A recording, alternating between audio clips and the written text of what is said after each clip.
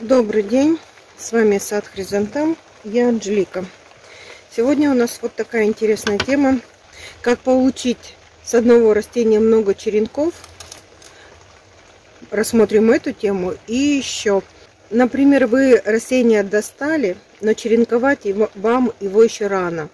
Оно стоит, массу нарастает.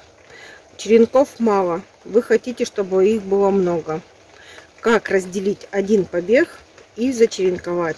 И сразу получить много черенков. Вот подрезаем черенок. Смотрим. Нам главное, чтобы в черенке, который будет укореняться, было 3-4 междуузлы. Раз, два, три. Можно три. Если совсем-совсем редкое растение, вам действительно нужно много черенков, то поделим вот так вот макушка обязательно. И два черенка с тремя листиками. Нижний листик убираем для черенкования. В землю он не должен уходить.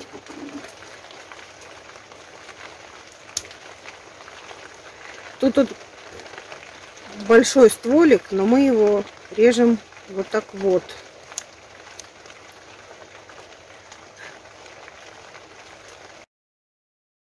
Два вот так вот мы тоже делаем, если редкий сорт.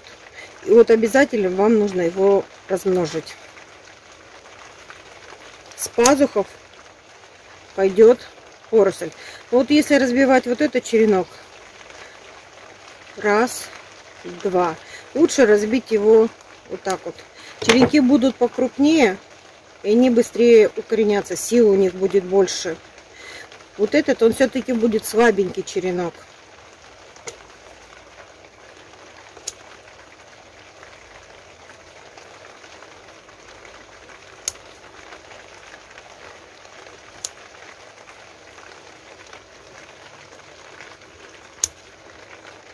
Вот так же на между, междуузле на две части. Да, они маленькие, где-то сантиметров по 4, но они да, дадут корешки и полноценно укоренятся.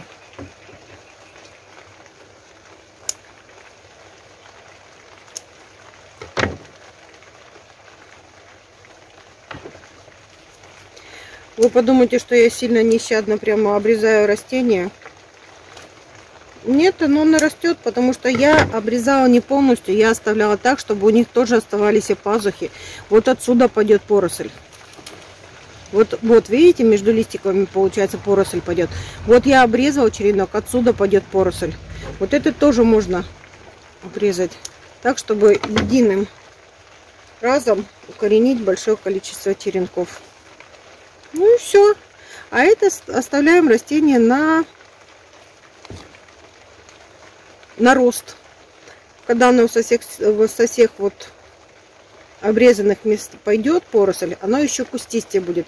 Кстати, таким же образом можно делать, если вы хотите, чтобы у вас хризантема была пышным кустом, а не одним побегом шла.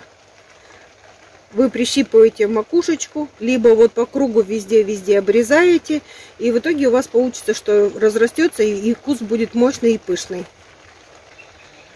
Что мы делаем с этим добром? Все так же, все то же самое, как мы и черенкуем, просто макушечные черенки. Корневин и в землю, в торф. Нижние листики обязательно убираем.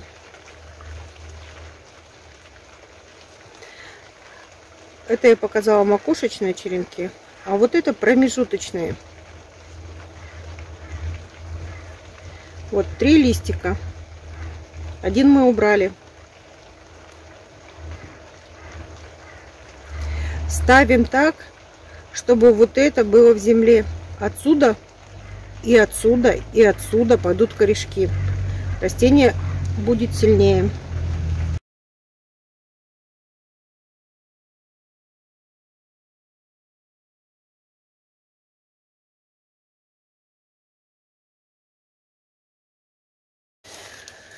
Как видите, я зачеренковала и только макушечные черенки, и промежуточные черенки. Они одинаково укоренятся. Да, бывает такое, что которые посередине срезаются, они более сложнее дают корни, чем макушечные. Но если цель такая стоит, что как можно быстрее и больше раз... получить черенков, то такой вариант тоже возможен.